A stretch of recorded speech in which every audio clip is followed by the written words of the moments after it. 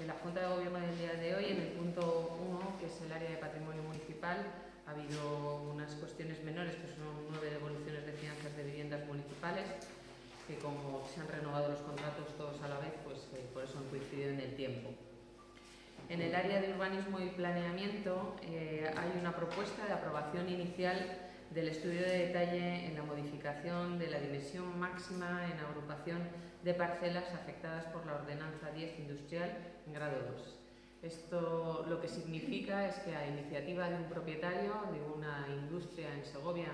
en este caso en el polígono Acueducto, en el polígono Alresa, eh, solicita agrupar varias parcelas para poder ampliar su negocio y en ese sentido vamos a modificar esta ordenanza para que esa superficie máxima que estaba limitada a 2.500 metros cuadrados para poder agrupar esas parcelas se limite se elimine esa, supresión, de, esa limitación de 2.500 metros y así poder permitir agrupar parcelas y que crezcan, crezcan todas las industrias eh, conforme a las necesidades que tengan y no teniendo esas limitaciones parcelarias que a día de hoy sí que existía conforme al plan general. esta modificación, que al final es una modificación del plan general a través de la figura del estudio de detalle, eh, tiene un, periodo de información pública de un mes tiene también los correspondientes informes sectoriales y posteriormente será llevada a su aprobación definitiva. Pero el objetivo fundamental, como ya os decía, era, eh, es eliminar las limitaciones que tienen ahora mismo el Plan General definidas para eh, agrupar parcelas y permitir que las industrias se implanten conforme a las necesidades que tengan de suelo, sobre todo lo que es referido al polígono acueducto que es en este caso el que nos lo ha solicitado concretamente una de, las industrias que allí se, enclavan. En el área de servicios, infraestructuras y medio ambiente, está el primer, punto es la propuesta de aprobación de tarifa de la explotación de la EDAR de Segovia para el ejercicio 2022 y la liquidación de 2021. En este caso, la liquidación de 2021 no ha sido favorable al ayuntamiento con un importe de 220.334 euros que salen a favor del ayuntamiento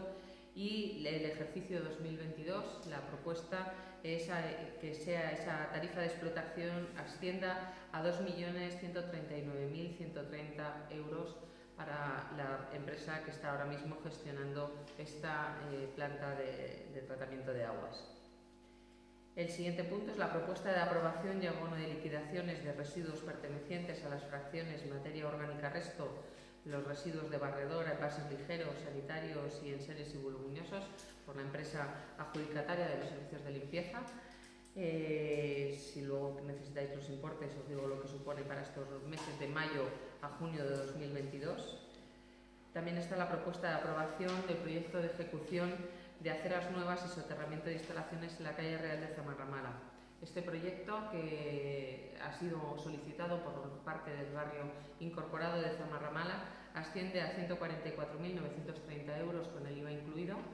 Eh, será ejecutado este 2022 y la idea es soterrar, vamos, la renovación de todas las redes, la creación de las aceras en esta calle, porque hay varias de las eh, viviendas que dan directamente a un espacio que no es acera, pero que tampoco es la calzada por la que circulan los vehículos y que tiene ciertas dificultades, sobre, todo para facilitar el tránsito de los peatones y por lo tanto se van a crear estas aceras, se van a soterrar eh, y se van a renovar las redes de, saneamiento y de abastecimiento de agua y se eh, mejorará todo lo que es el tránsito peatonal en esta vía de Zamarramala.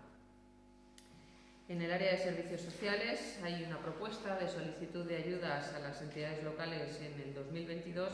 para la potenciación de la red española de ciudades saludables y la implementación local de las entidades eh, locales eh, de reactivación senior. En este caso es una solicitud de ayuda que hacemos a la Federación Empresarial Segoviana, eh, a la Federación, no, a la a la Federación Empresarial de Municipios y Provincias,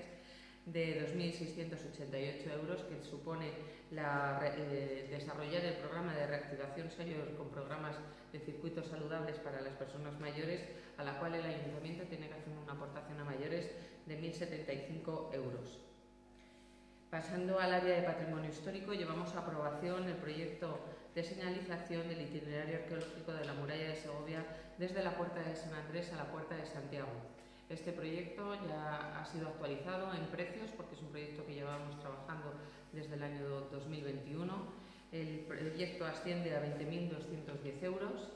y consiste en la creación de un itinerario arqueológico, un itinerario para las visitas, en donde se vayan señalando todos los puntos de interés arqueológico que se encuentran al exterior de la muralla de Segovia y también en el entorno de la plaza de la Reina Victoria Eugenia en los jardines del Alcázar,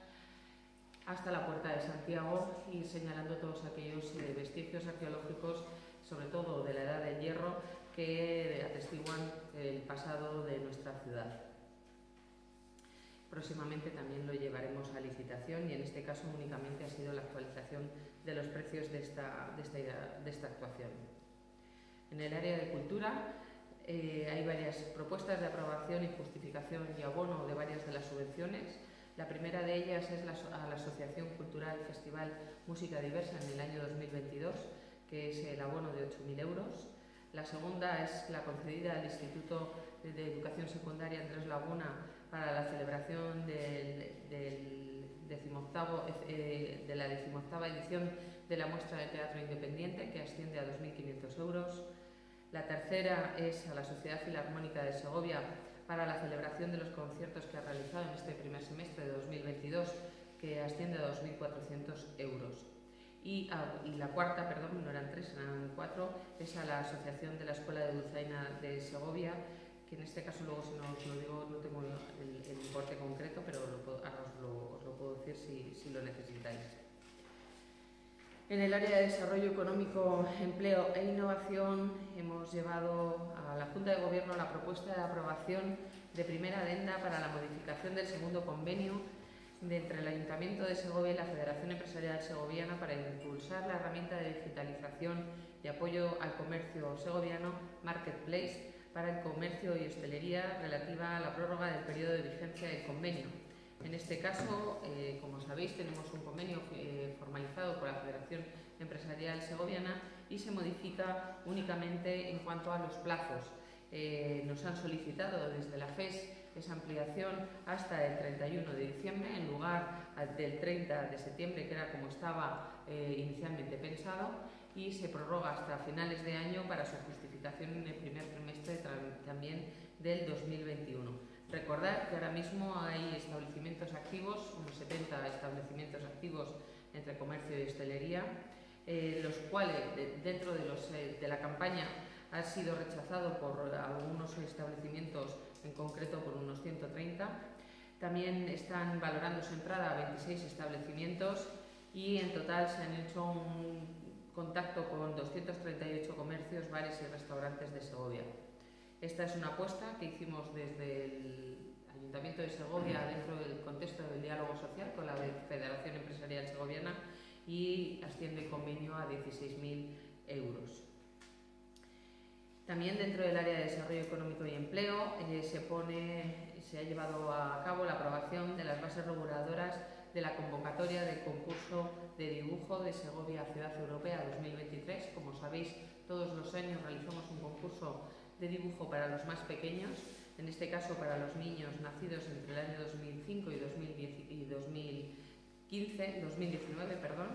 para eh, la edición de un calendario en el cual se vayan poniendo eh, en valor los distintos eh, valores que, nos, que tenemos dentro de la Unión Europea. Son tres las categorías que se establecen para la participación de estos niños, que pueden presentar sus dibujos en el área de Europa Direct, en la Concejalía de Innovación y Empleo,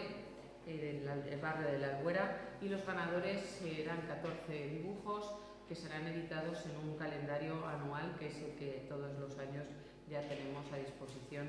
eh, tanto de los segovianos y segovianas como también de colegios o otros colectivos que quieran utilizarlo. En el área de intervención eh, hay varias propuestas de modificación presupuestaria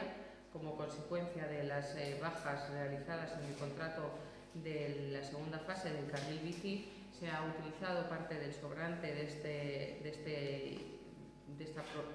eh, propuesta presupuestaria inicial y en este caso la primera de ellas afecta a la delimitación para la compra de bancos y otros elementos de delimitación de carriles eh, vamos, de carriles viales para la seguridad vial, ese, ese propio mobiliario que se necesita para la ciudad. Esa modificación se retira de la, fase, de la segunda fase de carril bici y se traspasa al, área de,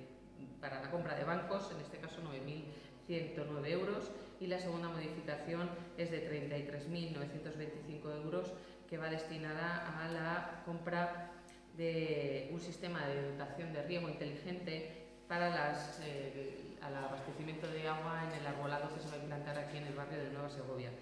Como os digo, estas dos cuantías, los 9.109 euros y los 33.925, salen de eh, la baja que fue inicialmente adjudicada a las obras de la segunda fase de carril bici.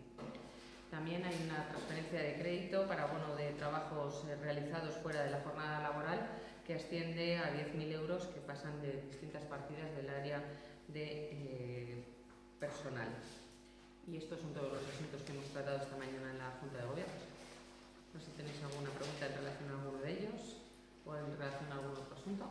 Sobre la liquidación del ejercicio de la LAR de 2021, no sé si es normal que se que ese desajuste, en este caso favorable al ayuntamiento de 120.000 euros. Si es así, si intenta ajustar de alguna manera, pues incluso se llega a plantear ajustar los precios de las tasas del agua, eh, teniendo en cuenta este, en este caso superávit de,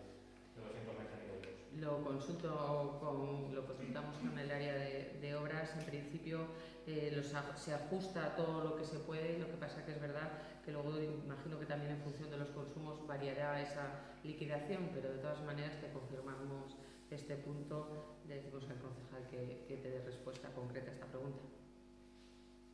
ocupación de las parcelas es solo para el polígono de agosto, también para el cerro. Todas aquellas parcelas de suelo industrial que estén ahora mismo conforme a la ordenanza 10 en grado 2 industrial, que es verdad que pueden afectar a otros polígonos industriales. Pero solamente las parcelas que están dentro de esta, regidas eh, por, por, esta ordenanza. Que no todas y todos los polígonos están bajo la ordenanza. Parece que esta mañana